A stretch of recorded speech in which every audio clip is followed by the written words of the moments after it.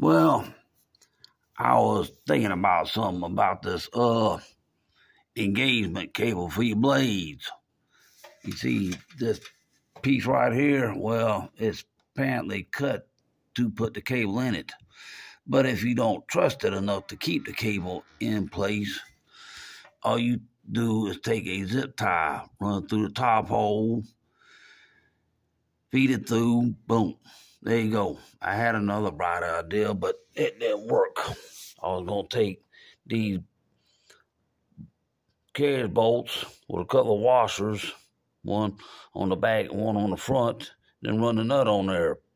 But I'd have to get washers that have the same inside diameter hole, but a lot bigger to hold that cable in place so it don't get chewed up. Because when that cable gets gone, blade engagement on certain mowers will become useless. Is I'll just say this: they become useless.